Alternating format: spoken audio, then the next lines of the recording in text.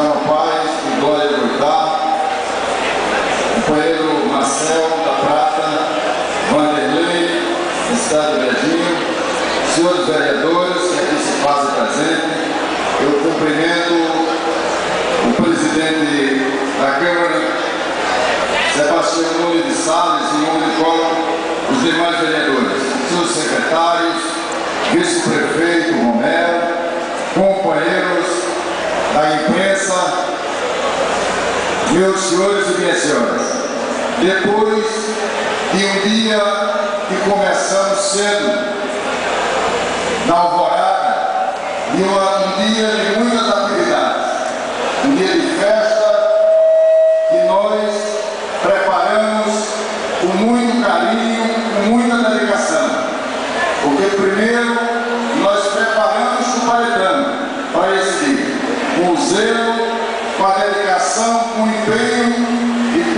nós temos por essa terra.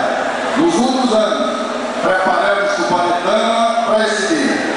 E hoje preparamos essa festa, uma festa que começa e começou às 5 da manhã, que teve todo o dia de hoje, que será até o próximo sábado. Uma festa multicultural, uma festa que vai ir para todos os gostos, porque nós entendemos que quem governa deve governar com muito zelo, com muito carinho. E eu quero, nessa noite, dizer da minha emoção de estar vivenciando esses 50 anos da história do Paletano.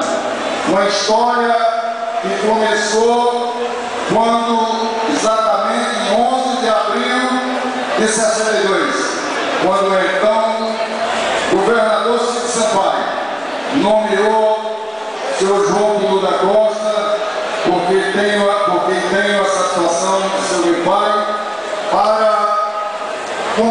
história desse município.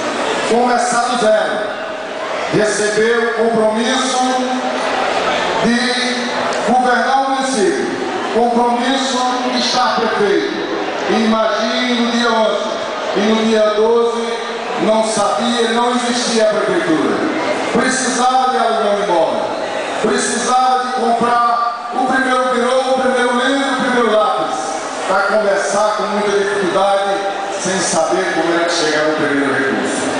Falar com o governador a 400 quilômetros, numa estrada 100% de terra. Imagine sem comunicação, Ricardo, como era difícil conversar naquela época. E a história começava ali. Meu pai ficou durante 12 meses nomeado pelo governador Chico Sampaio, primeiro prefeito. Depois veio a primeira eleição. Quando chapéu e fui aprender na minha vida, ser admirador, o grande saudosista Severino Soto, que começou e deu passo na história do Paritano. Vindo depois a ser seguido por seu Elias, o nosso querido Elias, aqui representado pela sua família. E a história continuou com o nosso saudoso Antônio Ferreira de Mello, carinhosamente conhecido como Bolinha. Seguido ainda em dois mandatos por Pedro Torres, que durante dez anos contribuiu e contribuiu muito para melhorar o Paletano. Vindo depois prefeitos Vitalino que está aqui, demonstrando que a história do Paletano é muito mais importante do que qualquer tipo de divergência política que possa existir.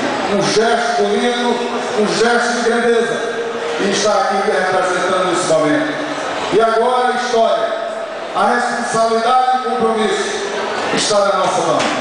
Tenho governado com a cabeça, com o coração e com o sentimento de quem ama a terra. Fiz tudo com muita dedicação. Melhoramos a nossa cidade. Temos a marca do nosso trabalho. Em qualquer recanto que você andar nesse município. E hoje temos o reconhecimento da grande maioria do povo do meu município. Porque fiz isso com a dedicação e o amor que eu tenho por a minha terra. E hoje, 50 anos, quero dizer que é um dia onde me emociono muito e quero desejar que os futuros governantes possam fazer muito mais do que todos esses que contribuíram o seu jeito de procurar trabalhar por essa cidade. E os outros 50 anos que vão para frente, para completar o centenário do Paritano. Eu quero aqui encerrar minhas palavras, dizendo que certamente daqui a 50 anos, quando essa cidade estiver completando o seu centenário, certamente não estaremos mais por aqui, sobretudo eu. Mas eu certamente, se eu pudesse pedir a Deus, eu estaria pedindo para abrir janela, para de lá eu matar a saudade e olhar para Tuparetama, porque foi a cidade que eu aprendi a amar. Tuparetama, que Deus lhe abençoe, que muita gente possa fazer. Tuparetama, o meu abraço fraterno. Muito obrigado. Obrigado, Sábio. Obrigado a todas as autoridades aqui presentes, as autoridades.